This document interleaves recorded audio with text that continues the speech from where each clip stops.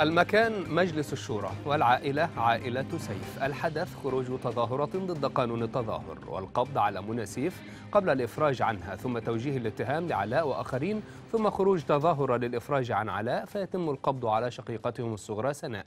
يتوجه السيسي للأمم المتحدة فيتم الإفراج عن علاء وتبقى سناء لتحصد حكم بثلاث سنوات.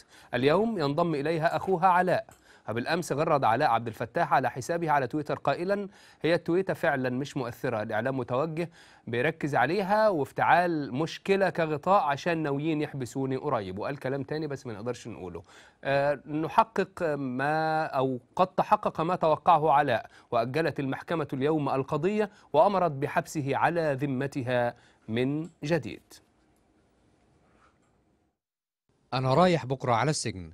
كلمة كتبها الناشط المصري علاء عبد الفتاح قبل يومين من إعادته لمحبسه بعد شهر واحد فقط من الإفراج عنه وبعد أقل من 24 ساعة على الحكم على شقيقته سناء بالحبس ثلاث سنوات بتهمة انتهاك قانون التظاهر.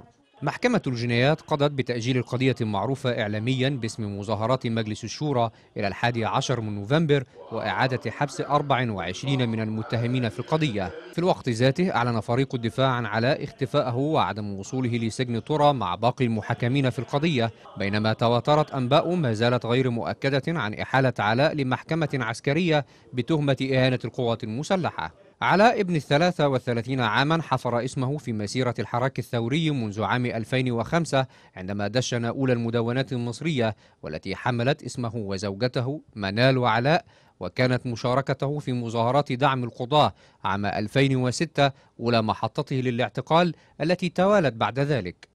وكان علاء من أوائل من رددوا هتاف يسقط حكم العسكر بعد ثورة يناير وطالب بمحاكمة عدد من قيادات المجلس العسكري الذي تولى حكم البلاد بعد إسقاط حسني مبارك بتهمة قتل المتظاهرين. اسقط يسقط حكم العسكر! يسقط يسقط حكم تلك المطالبة التي دفعت بتوجيه اتهام لعلاء بالتحريض على التظاهر في أحداث مسبيرو وحال السجن بينه وبين مولد ابنه خالد. يجيبوا لنا اللواء حمدي بدين نحاكمه ويجيبوا لنا اللواء الرويني نحاكمه صح. OK؟ وبعدين نتكلم على الانتساس. مش عاوزين يجيبوا نحاكمه ممكن يجيبوا نعمل معاه اللي اتعمل فينا وبعدين برضه نبقى نتكلم على الانتساس. علاء عبد الفتاح حمل لواء مواجهة المحاكمات العسكرية للمدنيين بعد الثورة ودشن مع أخته منى حملة لا للمحاكمات العسكرية. ومع الانتخابات الرئاسية الأولى بعد الثورة قاد علاء حملة ضد عودة النظام السابق وأطلق دعوة لعدم انتخاب المرشح الرئاسي أحمد شفيق. وبعد أيام اتهم علاء وأخته منى وعدد من النشطاء بحرق المقر الانتخابي لحملة شفيق. علاء ينتمي لأسرة لها بصمة في تاريخ النضال المصري فوالده هو الحقوقي المعروف أحمد سيف الإسلام الذي توفي الشهر الماضي بعد حبس ابنه علاء وابنته الصغرى سناء. ووالدته ليلى سويف أستاذ الرياضيات بجامعة القاهرة وعضو حركة التاسع من مارس. وكما كان معارضا لمبارك ومن بعد المجلس العسكري مارس معارضته ضد جامعة الإخوان المسلمين بعد وصول الرئيس المعزول محمد مرسي للحكم.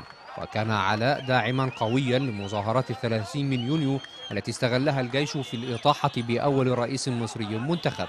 لكن بعد مذبحة رابعة التي قادها الجيش المصري ضد رافضي الانقلاب اختلف موقف علاء وعقب صدور قانون التظاهر الذي شكل أول حجر في تقييد حرية التعبير خرج علاء بمظاهرة رافضة للقانون أمام مجلس الشورى فوجه له الاتهام بخرق قانون التظاهر وسرقة جهاز لاسلكي تابع لأفراد الشرطة.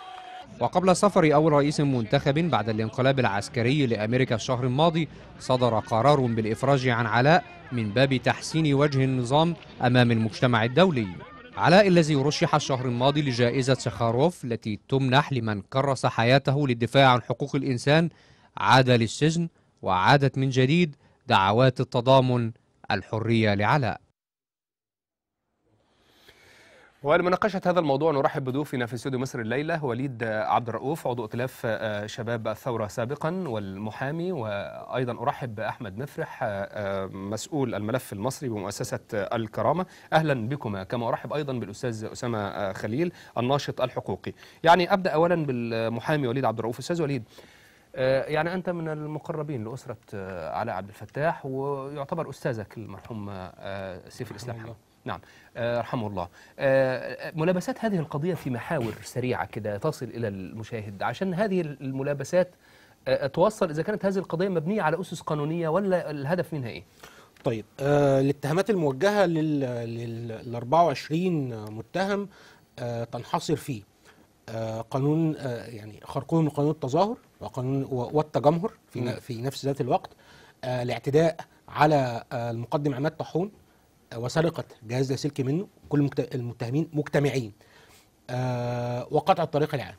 أعتقد آه بمنتهى البساطة آه، في شهادة يعني أنا بس هتطرق لشهادة عماد طاحون. عماد طاحون لما قال إن في خم في 30 35 آه، من المتهمين جم ضربوني اللي كانوا بيتظاهروا جم ضربوني وطرحوني ارضا وقعدوا يضربوا فيا بإيديهم ورجليهم.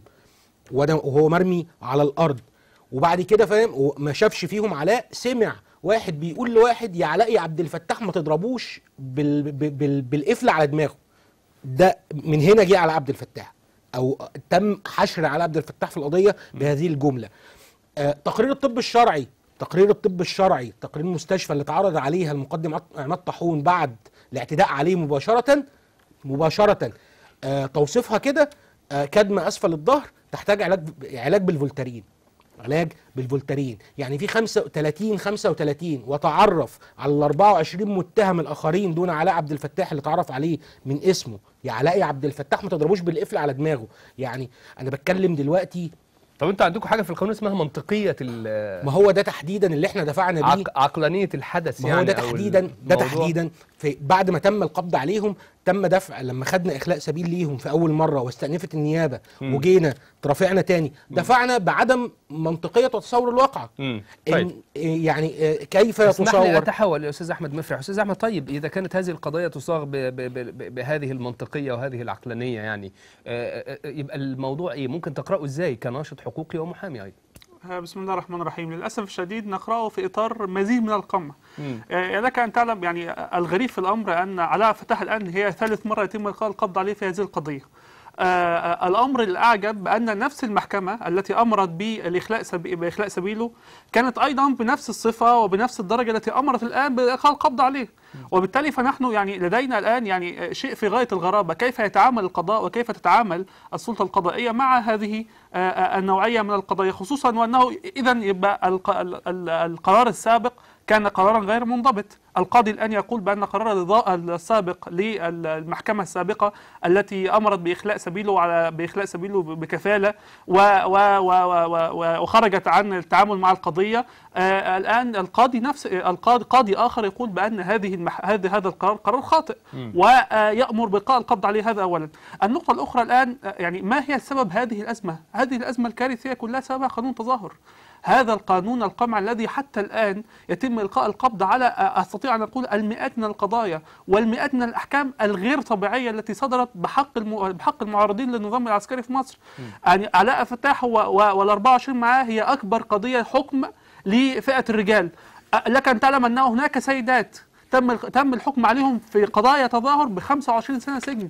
وبالتالي فمثل هذا الكم من من الأحكام ومثل هذه المدد الغير طبيعية مم. يعني تأتي في إطار غير طبيعي لقانون قمع. طيب دعني أتحول إلى الأستاذ أسامة خليل المحامي والناشط الحقوقي معنا عبر الهاتف. أستاذ أسامة يعني أنت أيضا من المتابعين لهذه القضية قضية علاء عبد الفتاح أو عائلة سيف. يعني آه، ماذا تتوقع في الأيام القادمة و- وإجراءات هذه القضية؟ خاصة إن كان في 23 ناشط بالأمس وناشطة تم الحكم عليهم بثلاث سنوات وغرامة قدرها 10000 جنيه. الحقيقة إحنا بنمر بأيام عصيبة في المجتمع المدني المصري من قبض ويعني عشوائي وقبض وقمع شديد بيحدث في مصر الآن. والمشكلة الكبرى هي علاء عبد الفتاح في مصر.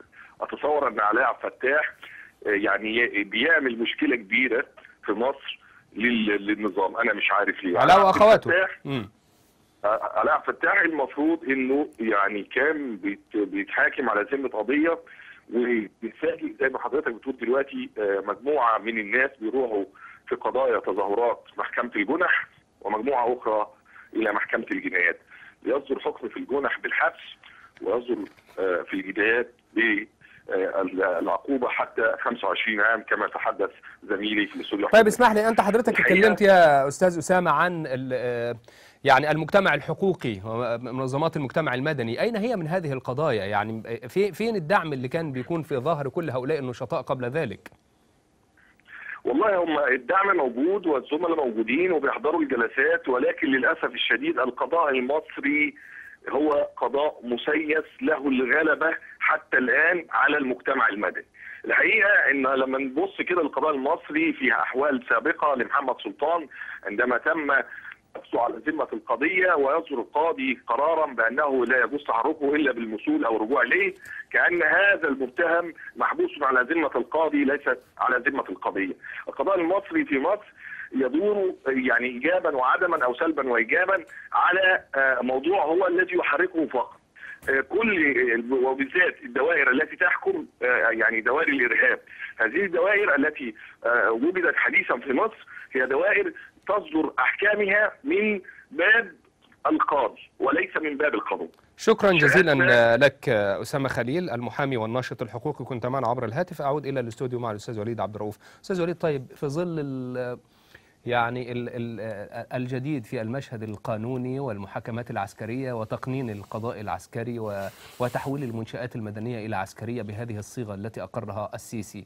هل ترى إن يكون في أبعاد على قضية علاء عبد الفتاح وغيره من النشطاء السياسيين؟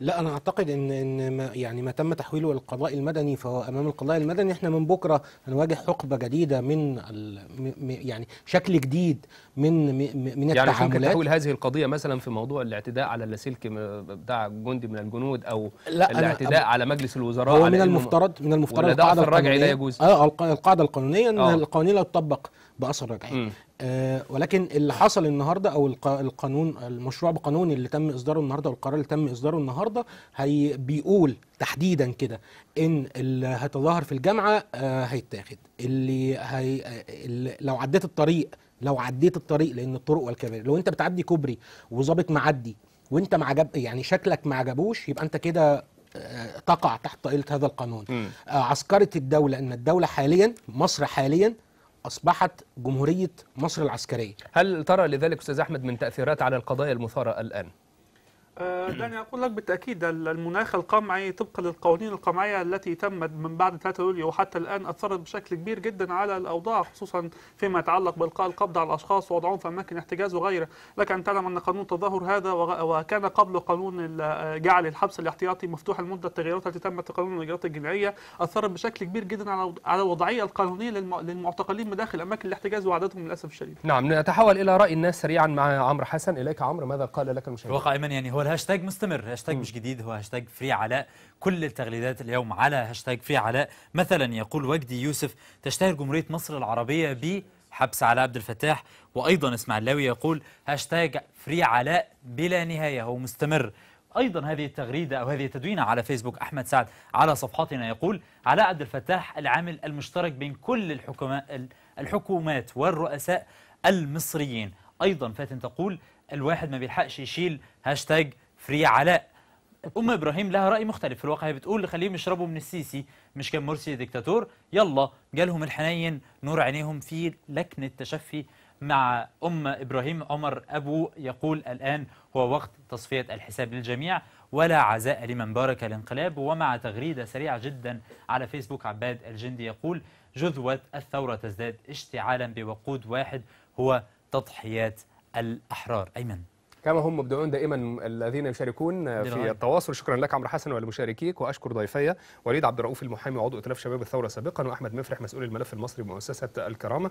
شكرا جزيلا لكم. عرضنا في مصر الليلة متواصل معكم وفيه بعد الفاصل. القضاء المستعجل يقضي بفرض الحراسة على نقابة الصيادلة بدعوى وجود أعضاء ينتمون لجماعة الإخوان المسلمين بين مجلس إدارتها. ومراقبون يعتبرون الحكم خطوة على طريق وضع يد الدولة على التنظيمات النقابية.